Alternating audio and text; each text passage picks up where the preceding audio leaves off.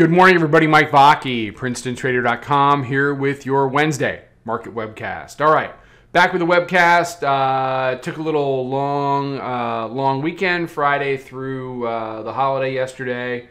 Got back last night. So, and my suggestion for anybody that trades or anybody that does everything is that you've got to, you know, you got to take a break. I hadn't taken a vacation, and I mean, I literally didn't trade Friday. I think that's the first time in uh, at least we were trying to figure it out in the room, at least five or six years that I literally did not touch the tape for a day, and it's you know I, I you know got to do that. You, you got to do that sometimes. Um, as far as the market goes, it's been a really nice down move. I mean, we got in a very nice extended short trade from Friday, um, you know, in and through. Uh, I'm sorry, Thursday, in, in and through that that worked out very well. Uh, yesterday off the open was nice, and um, you know we had the push down last night as far as 45. What did they print? 30? Yeah, 35 half. What they're dealing with now. Let's go to the hourly chart. They have to deal with the gold line there, the yellow line. That's the 100-day exponential moving average. Um, that is really the one last area that the Bears have got to convert if they want the bigger move, the big pullback into, say, the 200 day, which is hovering in and around 4380s, something like that. Um, the dominoes have been falling very nicely. I thought they did a good job yesterday uh, following up on the holiday Globex session where they sealed off the weekly pivot at 46.58.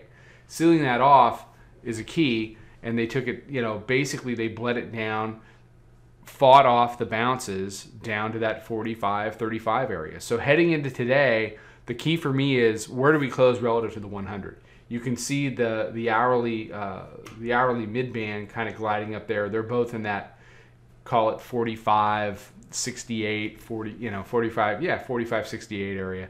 I would not be surprised if we got a test of that at some point this morning.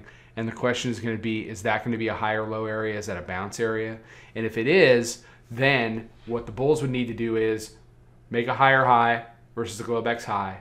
And then you can start to reach back up towards the roundy, back towards where it failed yesterday, which is right around 46.15, 46.25. What do the Bears want to do? They want to create another lower high. They want to crack this area, and they want to close somewhere below. It doesn't have to be some dramatic Wiley Coyote off a cliff with a rocket strapped to his back kind of a thing, and you know just watch him pummel into the ground and you know the whole thing. That's honestly where the Bears get themselves into trouble. Just keep pressure on the market and keep taking it down. Steadily take the tape down. Just like when the Bears steadily take the tape up in your face for like three months in a row. You know, you just have to control the bounces. Um, that's not going to be super sustainable, um, but it could be sustainable for, for a few more sessions for sure.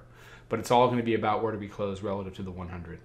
Um, that's that that's the that's the biggest area on the board right now, for at least for me.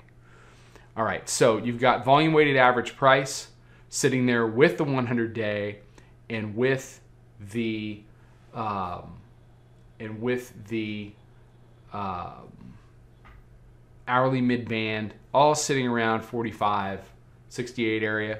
You've got uh, proprietary moving averages up at 84. You've got the daily pivot today coming in at 99.58. But let's let's see how we open up. Let's see what let's see if they can even generate a move down to that area, and if they do, what does that look like? All right, everybody have a fantastic day. Be safe, be healthy, take care, trade them well, and I'm back with you tomorrow.